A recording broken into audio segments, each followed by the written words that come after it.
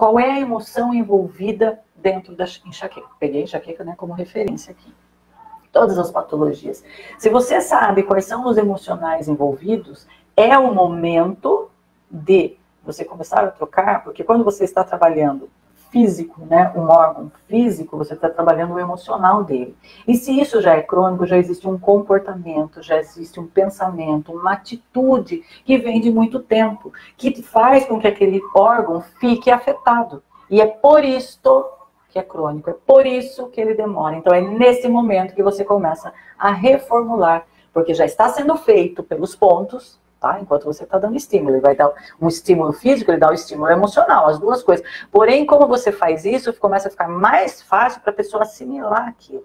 Então, se eu estou falando enxaqueca, eu vou conversar com essa pessoa referente à emoção envolvida nisto, que é uma pessoa que se cobra demais, que se exige demais. E eu já sei disso porque eu vi a estrutura dos dedos, eu já sei disso porque o sintoma é a enxaqueca, então, o desenho da terapia, da análise a ser feita com essa pessoa é qual?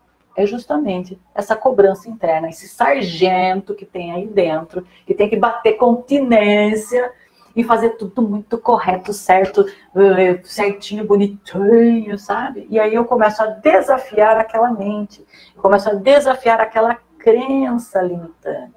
E quando você começa a trazer essa percepção emocional para a pessoa, então, estamos fazendo duas coisas aqui: mudar a percepção de como ela se enxerga, de como ela se vê, trazer para o consciente como ela age, pensa, sente, e está estimulando os pontos referentes a isso.